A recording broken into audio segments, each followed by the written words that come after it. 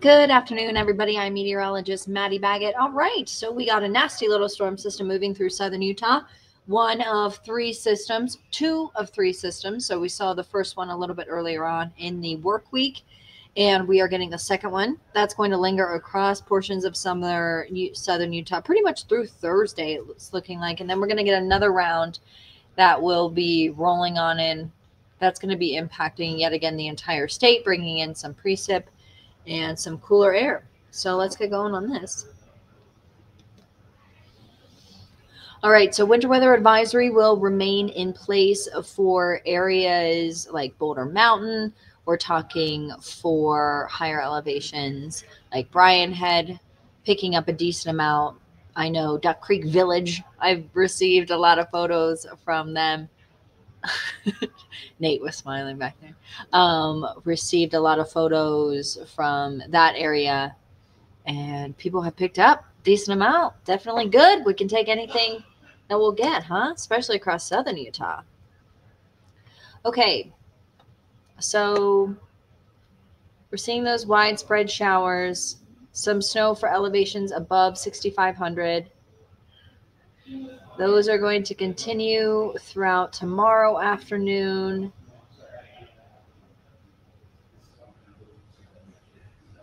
And then we're going to get that next storm system arriving by our Thursday night into Friday. Once again, impacting south central Utah. So let's take a look at this model.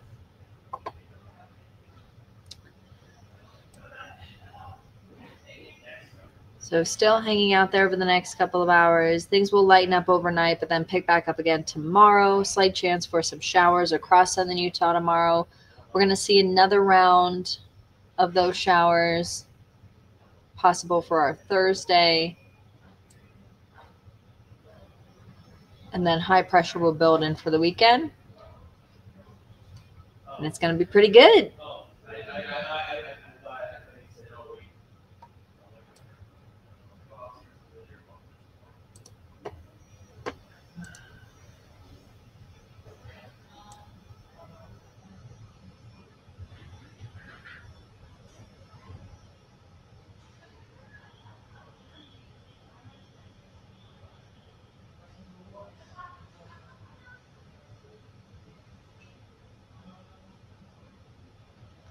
As far as rain is concerned, here's what we got going on.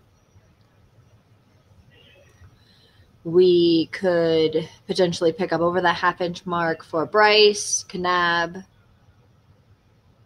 St. George. So a lot of rain.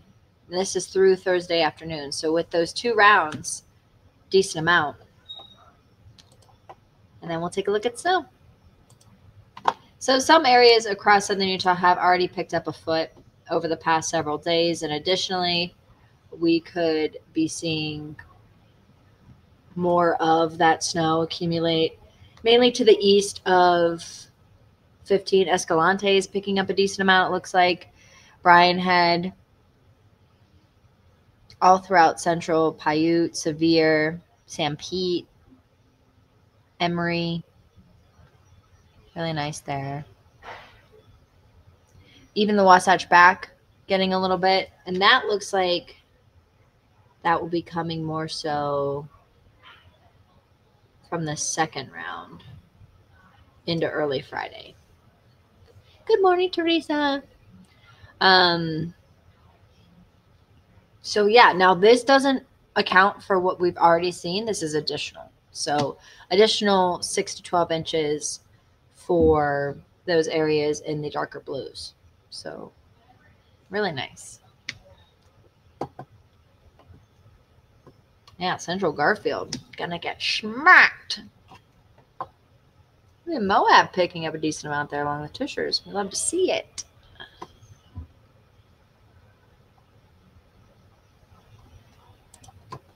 Just give you a look at the temperatures across northern Utah. So chance for some showers tomorrow afternoon, then Thursday afternoon as well, and then we'll hang out in the low 50s. So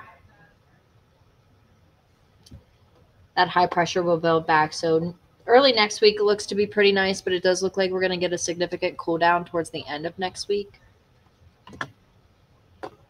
pretty chilly there.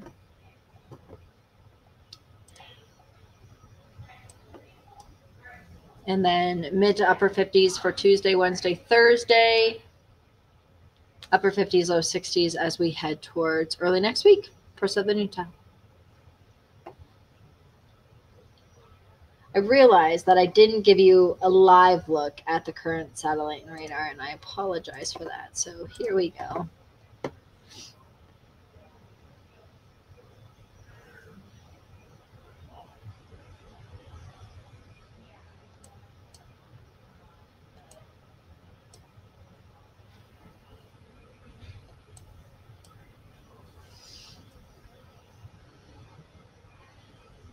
So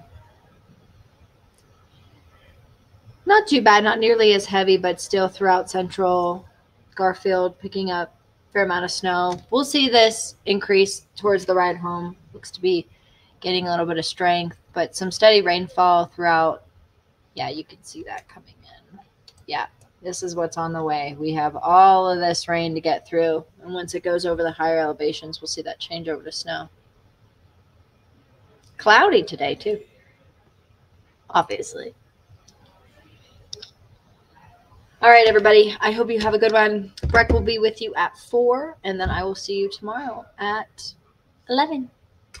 Have a good one.